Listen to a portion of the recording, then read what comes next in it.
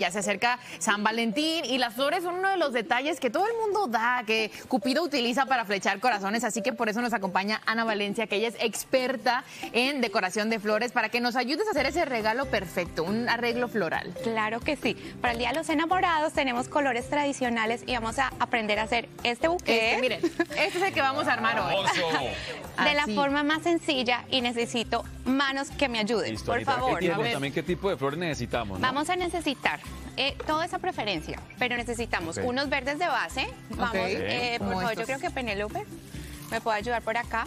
Eh, Carlos puede tomar las rosas, ven, por acá, rosas por este ver, lado. ¿Por, por acá me voy? Sí. Sí, a ver, venga.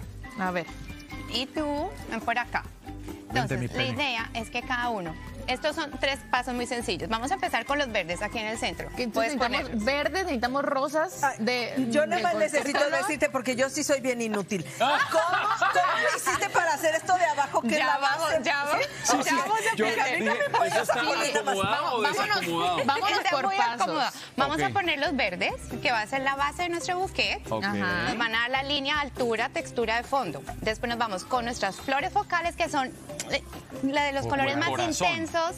Colores más intensos. O sea que ahí velas más grandes. rosas, rojas, rosas rosadas, Blanca. Hablando de San Valentín, blancas también. Blanca siempre hay rosas. Claro. Entonces ya elegimos los colores eh, pues, que más nos gustan. Aquí tenemos rojas y moradas que combinan perfecto.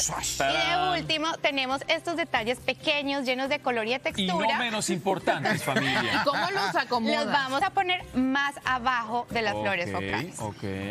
Ándale. Miren, chicos, lo que es saber uno de flores, uno se la vive entregándole flores. Total. Que sea la pareja, que sea la mamá, Ay, que sea yo la destruía el hermana. mío, voy a acomodarlo. Ok. Pero entonces, a ver, va- va- vayan a aplicar lo aprendido. Cada uno tiene en su Porque yo puesto los destruí mismos eso. elementos. Ahora, Ok. ¿qué vamos a hacer? Todo eh, se basa en detalles. Vamos a envolverlo en estos papeles. Pero ¿cómo hiciste Sí, ¿cómo lo que armé decía los Penélope? papeles de Porque abajo? se ven bien bonitos, pero explícanos cómo los armaste. Voy a quitar las flores. recibimos, aquí tengo unos para mostrarle, y vamos a hacer como triángulos. Y vamos a sobreponer triángulo sobre triángulo. Pueden tener rojo, hay con corazones, ahora en el mercado se encuentran bellezas. Entonces, cuando tengamos las flores puestas sobre nuestros papeles, O sea, los triángulos los pusiste como sea. Como no importa, sea, no hay no un importa. orden. Nomás nada. como para No darle O sea, dimensión. uno entero, uno entero y luego todos los de arriba en Sí. triángulos. Exacto. Simboliza Tenemos- lo impredecible del amor.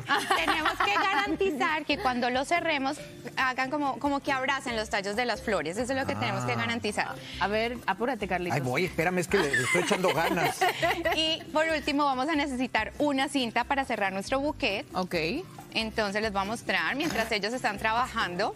Les quiero mostrar, antes que tenemos en este buquet anémonas, es una flor Uy, muy especial. de de tenemos rosas de diferentes tamaños, Muy este es bien. spray rose, tenemos lavender Entonces- tenemos esta que es muy tradicional. Vamos a cerrarlo. ¿Ya estamos para cerrar? Hombre. ¿Cómo es la cerrada? Que esa es la que más me preocupa a mí. Vamos a abrazar los tallos. Abraza Ok. los tallos. Abrazamos los tallos. Ah, solo los de Muy sencillo. Ok. ¿Y Si luego? nos sobra papel adelante, lo vamos a echar hacia atrás un poco. Fíjate que no me sobró. Ok, ok. Ahí está. Perfecto. Está muy y tienes tu cinta. Ah, bueno, tienes tu cinta cela. Ok. Vamos a pasarla por detrás. Pueden No, hombre, con hacerle- esto mi mujer va a caer redondita. Ay, Ahora sí una- no se me va a Ya negar. de ahí nada más haces un moño. Hacemos un moño. Pueden hacer doble nudo, ya esa Ah, preferencia. sin darle vueltas. Nada También le más puedes dar uno vuelta, solo- pero es más vuelta. complicado. Mira y A ver. el moño ya Yo voy a ser jurado, ¿eh? Yo voy a decir quién le quedó más bonito. tenemos un buquet especial. Para decirle te quiero a la mamá, Ay, qué a los lindo. amigos, al enamorado, Qué lindo, a cualquier persona. muy bien. Eh, nomás, qué bello. Bien, un 10, a ver. Gracias, gracias. Yo Ay, veo- Daniel, el de Eh, Daniel quedó, el de Daniel quedó ahí más o menos. ¿Cómo? Estamos Y yo pensando que era bien hermoso el mío. O sea, no te quedó mal, pero eh, se ve el intento, Ocho, se ven las ocho, ganas. ocho, Sí, sí, cinco. sí, sí. A ver, Penélope.